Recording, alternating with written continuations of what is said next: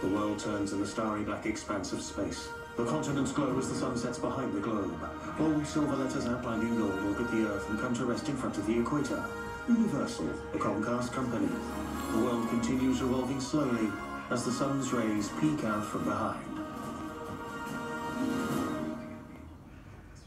Bold capitals form illumination. A minion swings on a disco ball. He knocks over letters, leaving minion, and falls off the ball. He jumps for joy. The ball swings back and squishes him between the N and I. In a bright